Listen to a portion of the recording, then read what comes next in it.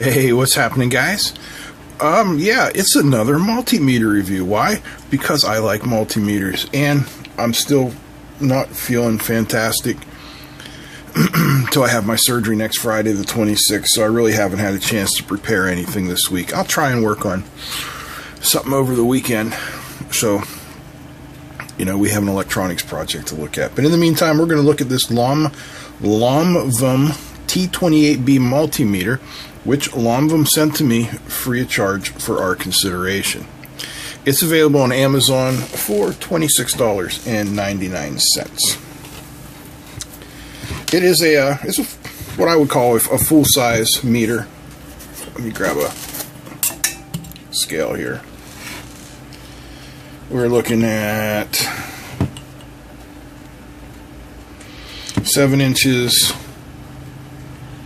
by about three and a quarter by a little over two inches thick. So that's, that's what I call a full size meter.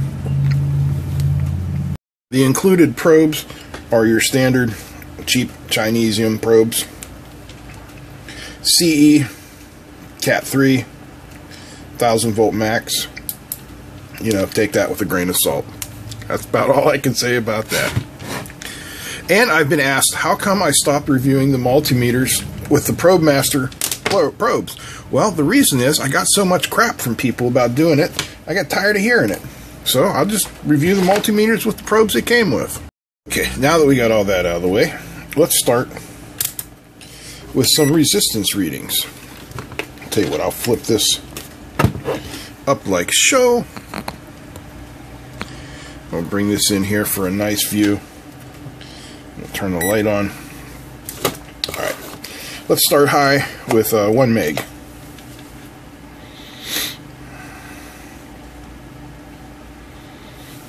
Okay, that's reading 2 megs.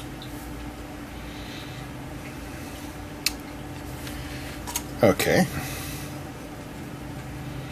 Let's go to 10K. Okay, that's on. 1K. Excuse me. Reading 1K, 2.2 ohms. 2.3 is close enough. Let's do 1 meg again.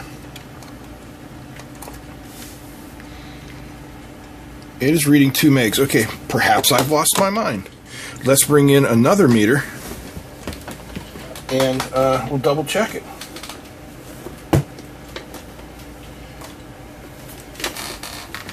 We'll, bring in the Aneng meter I just reviewed last week. This is the Aneng 870. Proved to be a you know decently accurate meter. Come on, light. Okay. We'll get a reading here. Yeah, that's reading one meg. That's what I thought.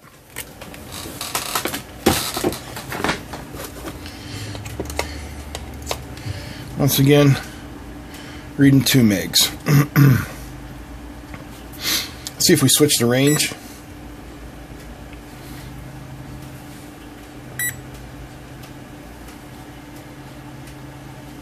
Okay, now on manual range at mega ohm, we're getting 0.99 mega ohms, which is, you know, right on.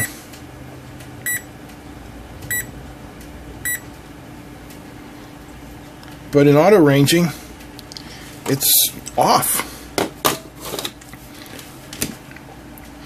I am in a bad mood today, and I'm tempted to just stop the review right here and say, it's crap but I'll finish the review. All right, let's do voltage testing. Got my voltage standard here. And we'll start at 10 volts. All right, close enough. 7.5. Go.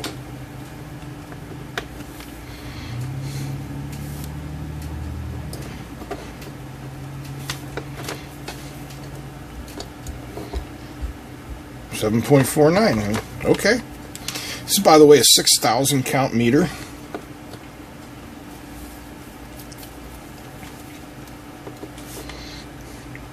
Five volts reading 5.007. Good.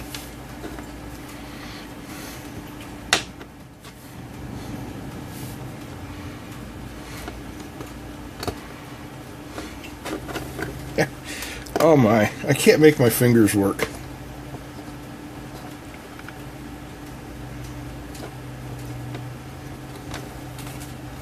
I still don't have it on right. Holy cow.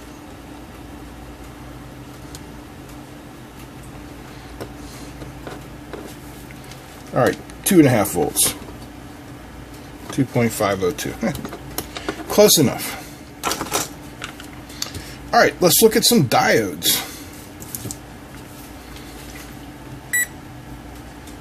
Hmm, voltage. All right, here we go.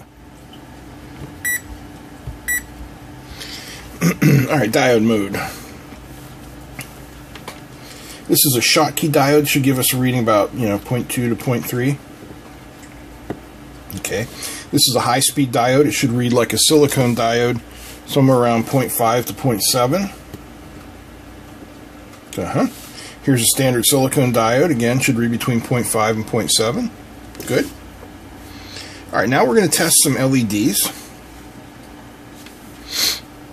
We should get a reading of the forward voltage on here. And depending on the output voltage it is testing these with, um, it may or may not light the LEDs. So there's red at 1.8 and it's lit. Yellow at 1.85 and lit. Green 2.32 and lit. Uh, blue at 2.5 and lit. This is an ultraviolet purple. 2.6 and lit. All very good. So it's probably outputting around 3 volts for its test. Alright, let's take a look at some capacitors. I always forget which ones I have on here.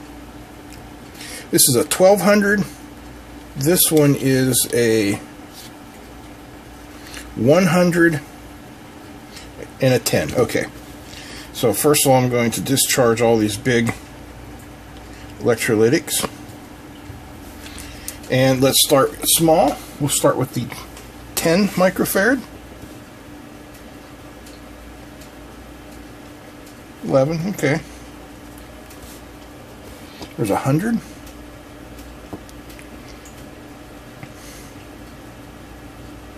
Ninety-eight point five five. All right, twelve hundred.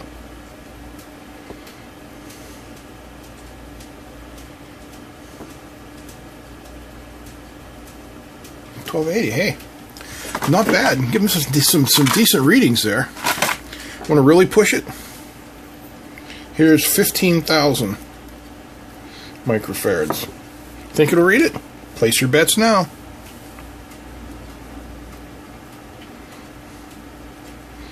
It's charging it. Da, da, da, da.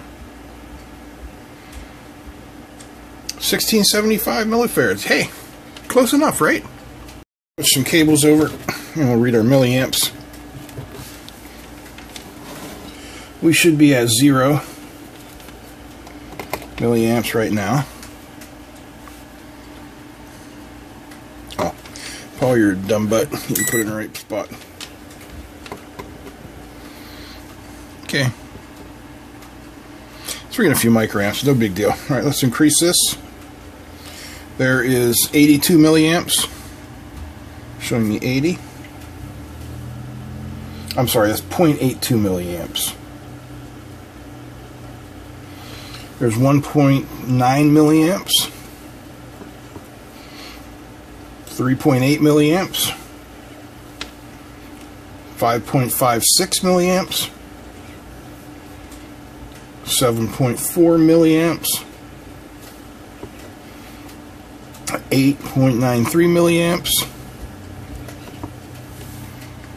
11.91 milliamps. So yeah, it reads milliamps just fine. There's no worries there whatsoever. Well, let's go back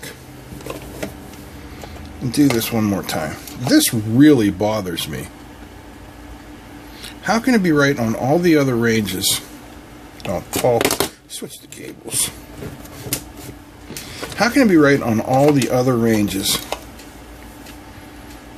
And so off on this one, look. 1.6 milliamps. So if we go all the way down to the lowest range, once again, 2.2.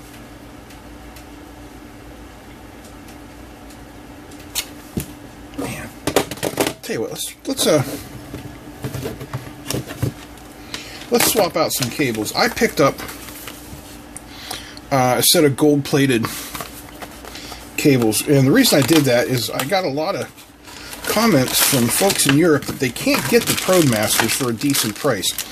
You know, here in the United States, Probe Masters are, you know, $20 shipped. And these guys are telling me it's costing them a fortune in Europe to get them. So, did a little, you know, messing around, looking around, and I found some nice gold-plated ones on Amazon. So let's let's give them a try just to try and rule that out. You know, it could be a bad set of probes.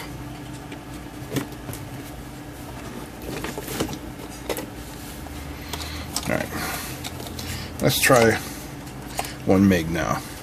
No, it ain't the probes.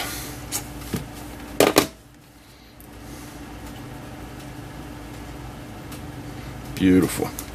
Let's try a continuity check on these, huh?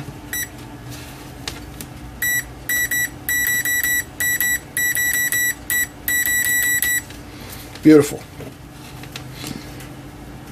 You want to know why I like gold plated probes? Remember the sound that continuity check made. Now I'm going to switch back to the other probes. Tell me if we get the same sound.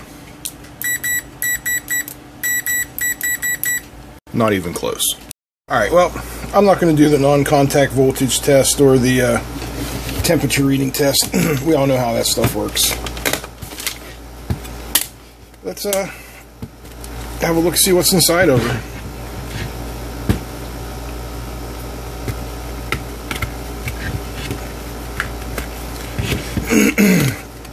pardon me, and pardon me for having the uh, the air conditioner on, it is it's really hot.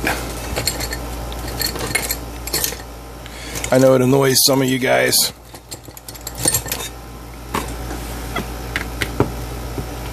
By the way, this meter works off of four AAA batteries, which is somewhat unique. I, in my experience, I've generally found meters that work on a 9 volt battery, two AA's or two AAA's. Four batteries is unique.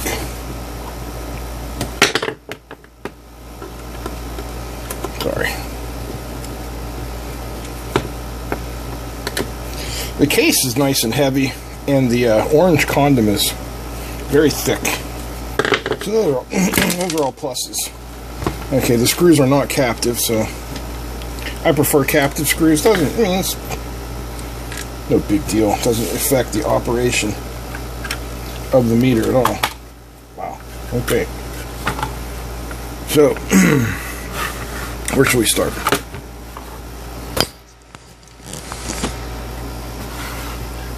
Let's zoom on in. Make sure we're nice and focused. All right. So down here,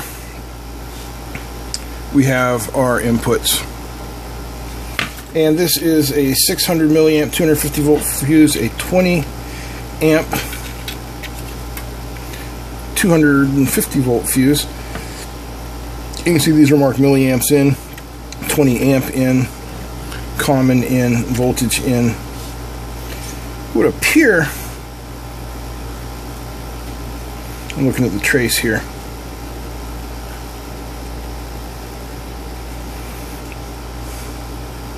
it would appear that they're reading the voltage coming off of the uh, the ground side of the circuit, the low side, not the high side. Yeah, that's neither here nor there. We of course have a uh, it's called glob top chip, you know, chip under some epoxy there. Bunch of MELF resistors. Got a couple of LEDs that... Okay, so those are for the uh, non-contact voltage. Why are they on this side of the board? There's the uh, the antenna for the NCV. Can I get that out? Well, it's anyway, it's just one of these screw terminals is all that it is. There's not a single PTC or MOV on this board. Yeah. That's pretty sad. Alright, I'm going to put it back together. This is probably the cheap, cheap, cheapest built multimeter I've ever dealt with here on the channel.